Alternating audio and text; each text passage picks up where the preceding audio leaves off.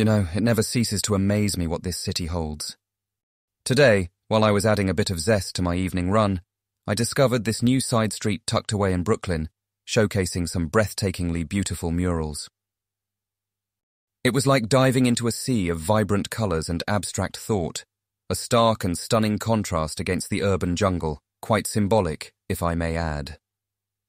I know, I know, I'm getting all artsy about it, but honestly, each mural felt like it told a unique story, you know? And being my tech nerd self, I couldn't help but whip out my phone and capture them. Now I've got this cool photo collection that I'm calling Run Roots Amp Murals that I'm considering sharing on social media. Could be a fun way to switch up content, right? Or maybe it could inspire others to go out and explore their neighborhoods. There's so much charisma hidden under the concrete exterior. Stand by for a virtual mural tour, dear friend. Speaking of tours, I got into an interesting banter with Sam and Rachel today about gaming and productivity. Believe it or not, Sam actually managed to beat his own high score on Star Galaxy and threw down the gauntlet. And honestly, challenge accepted. We might be neck deep in our work, but a little fun never hurt anybody, right? Besides, Rachel chimed in with a brilliant article about optimizing different parts of the day for certain tasks.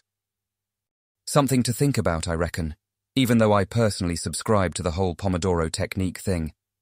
I find it keeps the gears turning and my stressful startup life a bit organized. On that note, Rachel and Sam agreed to join my mural hunt during our five minute breaks, putting a fresh twist on our idea of work life balance. And ah, here comes the dorky bit. Sam snagged this new sci fi book. It's called Dimension Wanderer. The way he talks about it, I guess it's worth taking a peek into another dimension after we're done braving our own earthly challenges. I tell you, art, video games, sci fi adventures, I bet you didn't picture our day as anything but work oriented. So, about the surprise pizza and games night last night, huh? Quite an interesting roll of the dice, wasn't it? Those pepperoni and mushroom pizzas were a hit. And shout out to Sam for the chicken. Close, but the secret of the spice level lies in that gochujang. A little more, and we'll have the perfect kick. Speaking of kick, I may have gotten a bit too excited during that last board game challenge. And hey, how about we add that Matrix movie marathon next time? Nothing like some Keanu Reeves action to spice up the night, right?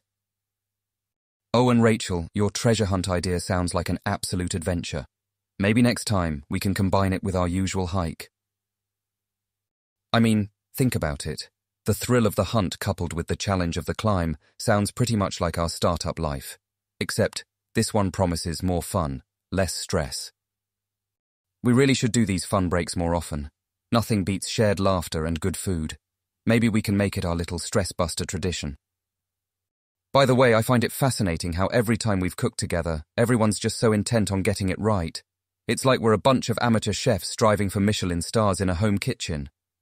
Do you think if AI doesn't pan out for me, I have a shot at MasterChef? Our conversations always leave me thinking. It's like we blend our entrepreneurial instincts and geekness into a delicious mix. Surely we have indeed come a long way from our tech nerd days. All right, let's get back on track. My break is almost up. Remember the rule work hard, pizza harder. So I've been caught in the grip of creativity today. I concocted this new AI-powered platform specifically for digital artists. Think of it as a virtual critiquing ground, a space bubbling with creativity and constructive feedback, all driven by our friendly neighborhood AI. Now, I know what you're thinking. Chris and yet another AI project, right? But hey, this one's a little closer to the heart, you know? It's like colliding my world of AI with my soft corner for digital art. Well, I do believe in mixing business with pleasure, don't I? In our little geek club, it was quite a splash. Rachel promptly labelled it as Tinder for artists. Classic Rachel comedy there. And Sam, well, he might just give digital art a whirl. Imagine that, Sam becoming Sam the artist. We'll be in for a treat indeed. You know, it feels good to have these casual, light-hearted banters with Sam and Rachel amidst our tech-driven lives. Brings in that wave of normalcy, you know? From one form of art to another, we drifted our chat towards music. Ah, the new Coldplay album. You listened to it yet? There's something about their music, man. It's like an old friend, comforting, familiar, yet always managing to surprise you. We all agreed on that. Like wine, Coldplay gets better with age. As for food, yes, you guessed it, the conversation steered towards sushi. Sam suggested this new sushi place downtown that's apparently causing quite a stir. Well, no surprise there that Rachel playfully lamented on the geographical disadvantage we often forget. Maybe, next time you're in town, we, the trio of New York, can host you for a memorable sushi feast.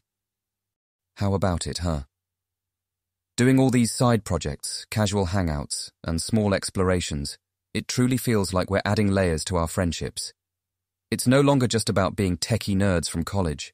It's like we're shaping stories within stories. Kind of like those multi-dimensional plots Sam devours in his sci-fi books. Anyway,